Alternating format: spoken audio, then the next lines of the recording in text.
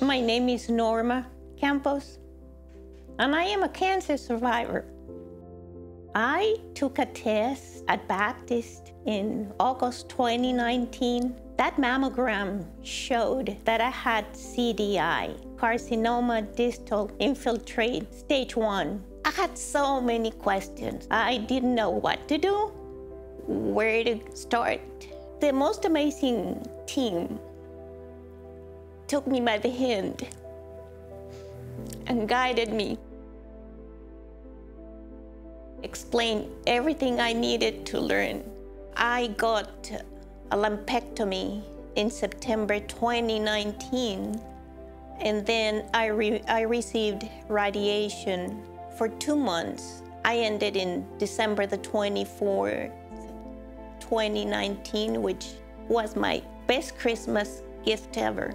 I've been so comfortable on the help I've received because that has saved my life. I have no way of emphasizing how important it is to schedule a mammogram, no matter the fear or how many excuses we might come up with. This can be life saving. It's just one simple test for your sake and the sake of yours. Along the way, you will receive the unconditional love of all your family, all your friends, and all the team at Baptist because they're always by your side in every step of the way. Let me tell you, there are grants that can help us get that mammogram taken. There are mobile units that go to different parts of town.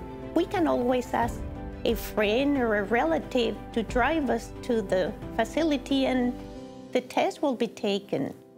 I really encourage you, do whatever is necessary, whatever, to get your mammogram taken. That test saved my life. Nothing is more important than your life. Make an appointment